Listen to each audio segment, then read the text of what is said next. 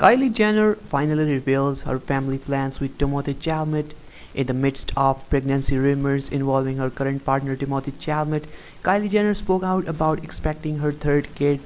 The beauty queen is often in headlines for both her personal and professional endeavors.